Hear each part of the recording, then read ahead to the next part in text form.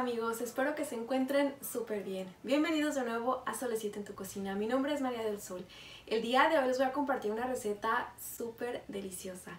Esta receta yo la preparaba muchísimo en México en casa de mi mamá por estas fechas de Navidad, posadas y todo eso. Y pues este día se las quería compartir. Van a ver qué sencillito es de preparar. Vamos a preparar unos deliciosos buñuelos de viento o buñuelos de molde también los conocen. En un momentito les voy a mostrar los ingredientes y nos ponemos a cocinar esta deliciosa receta. Muy bien amigos, y los ingredientes que vamos a necesitar van a ser casi 4 tazas de leche, 500 gramos de harina, media cucharadita de sal, una cucharadita de vainilla, 3 cucharadas de azúcar, 2 huevos, una barra de mantequilla de 113 gramos y media cucharadita de canela y aceite el necesario para freír. Lo primero que vamos a hacer es mezclar nuestros ingredientes secos. En un bol más grande vamos a poner el harina, el azúcar, la sal, la canela y vamos a revolver muy bien con nuestro globo batidor hasta integrar.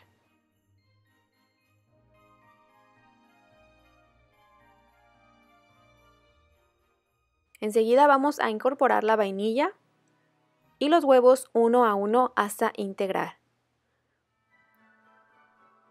Vamos a hacerlo desde antes para que pues, no se nos vaya a ir ningún pedacito de cascarón.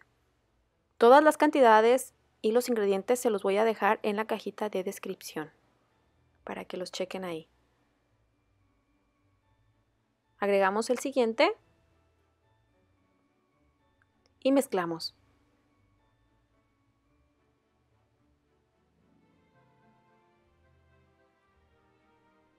Vamos a incorporar la mantequilla previamente derretida. Y también vamos a ir integrando la leche de poquito en poquito. Voy a empezar mezclando con una palita, pues para no que no me huele toda la harina por todas partes. Pero ustedes, si lo quieren hacer con la batidora desde el principio, pues es como ustedes quieran. Yo lo voy a hacer hacia el principio, pero enseguida voy a seguir con el globo batidor. Vamos a ir agregando, como les digo, de a poquito a poquito leche.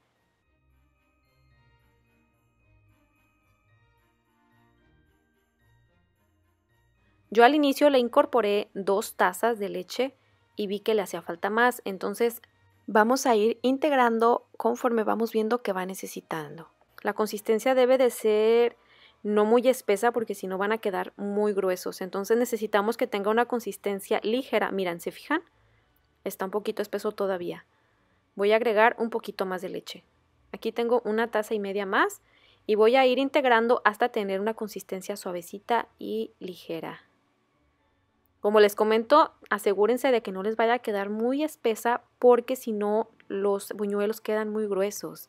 Entonces, entre más ligerita dejemos la masa, más delgaditos van a quedar y pues así delgaditos saben súper deliciosos, quedan bien crujientes y pues no sé, a mí me gustan mucho que queden en una textura suavecita y crujiente al mismo tiempo. Se fijan como ya está un poquito más ligera, pero todavía le falta un poquito más. Si les está gustando esta deliciosa receta, los invito a que se suscriban al canal y a que me regalen un me gusta, que le den al botoncito de la manita para arriba para así yo darme cuenta de que las recetas les están gustando. Ok, continuamos mezclando hasta ver que conseguimos la textura que necesitamos. Se fijan que ya está un poquito más ligera, pero todavía le falta un poquito más de leche. En total le pusimos tres tazas casi y media, como tres tazas y un cuarto de leche.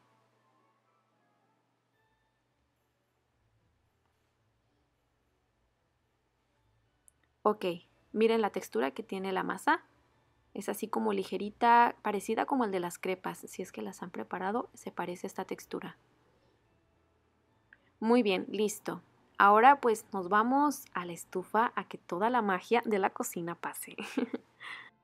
Muy bien, ahora en la estufa, en una sartén calientita, vamos a poner aceite el necesario. A mí me gusta checar el aceite que ya esté caliente. Cuando pongo unas tostaditas y flotan, ya sé que ya está listo para empezar con nuestros buñuelos. Lo primero que vamos a hacer es asegurarnos de calentar nuestro molde y pues que se llene de aceite, obviamente, ¿verdad?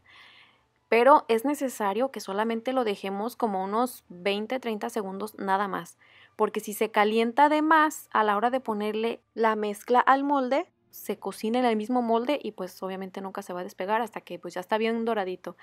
Pero bueno, hay muchas formas de preparar los buñuelos y pues cada quien tiene sus técnicas, ¿verdad? Yo les voy a mostrar la que más me gusta a mí y la que más fácil se me hace. Ok, vamos a sacudir un poquito el exceso de la grasa y lo vamos a secar en una servitualla, en una servilleta de papel para quitar el exceso. Enseguida lo vamos a meter en donde está la masa, la mezcla, asegurándonos de que solamente llegue hasta la orillita. No lo vayan a poner hasta arriba porque pues si no se va a atorar y jamás se va a salir de ahí. Entonces solamente que llegue hasta el bordito como un milímetro menos para que no se nos vaya a pegar. Y pues ya listo ahí en nuestro molde, vamos a regresar hacia el aceite y lo vamos a despegar así con unos movimientos suaves hacia arriba y hacia abajo y dándole un poquito de vueltas. Se va a soltar bien facilito. Y vamos a repetir el mismo proceso. Vamos a quitar un poquito el exceso, lo volvemos a limpiar un poquito con una servitualla, una servilleta de papel y lo volvemos a meter en la mezcla, asegurándonos de no llegar hasta arriba y pues lo volvemos a poner. Yo les recomiendo que tengan mucha paciencia. Si nunca los han hecho, pues es con amor y paciencia, porque a la primera, obviamente a veces no sale porque pues no, no le agarramos la temperatura necesaria al aceite. Tiene muchísimo que ver que no esté súper caliente el aceite porque pues si no se van a quemar súper rápido. Esto solamente va a tardar como unos 40 segundos, máximo un minuto, en dorarse. Cuando ya vemos que están un poquito ligeramente doraditos, los volteamos como 10 segunditos y los sacamos. Los vamos a ir poniendo en un papel absorbente para que se les quite el exceso de la grasa y enseguida, cuando todavía están así poquito calientes, los vamos a pasar por azúcar y canela. Esto pues es al gusto. A mí me gusta hacerlo solamente con algunos y otros pues los dejo así sin nada porque de todas formas saben deliciosos. Ya tienen el sabor de la canelita y pues saben súper ricos también. me acabé tres. Y pues como les digo, con paciencia, paciencia. Yo al inicio de verdad que hacía como, no sé, hacía muchísimos y no me salían. Pero de verdad que, como dicen, la práctica hace al maestro. De verdad que yo ya los he hecho muchísimas veces y este, pues como les digo, aún así, según yo sabiendo, de todas formas a veces me pasa que no le atino, no le atino a la temperatura. Muchas personas utilizan termómetros en el aceite, pero pues yo aquí me lo aviento a puro ojo de buen cubero, como dicen. Miren, se fijan, ahí ya se me pegó un poquito, pero pues nada más con ayuda así de un cuchillito, un palito, lo despegamos. Aquí en esta parte me emocioné y me aventé de a tres al mismo tiempo, pero creo que no es muy buena idea porque se le baja un poquito la temperatura al aceite. Yo estaba acostumbrada que en México siempre los hacía en un caso de esos de cobre, entonces ahí pues el aceite se calienta súper padre. Entonces, esos problemas no los tengo aquí, me los estoy aventando pues en una cazuela aquí en la estufa y pues sí es un poquito diferente. Pero sí se puede, ¿se fijan? Este, solamente pues como les digo, paciencia, paciencia y todo se puede. Pero van a ver que una vez que les empiezan a salir se van a emocionar. Es, esto es genial. Nada más asegúrense que entre tanda y tanda de buñuelos dejen unos segunditos el aceite solito para que se vuelva a calentar y tener la perfecta temperatura del molde y del aceite. Y una vez listos, pues a disfrutar.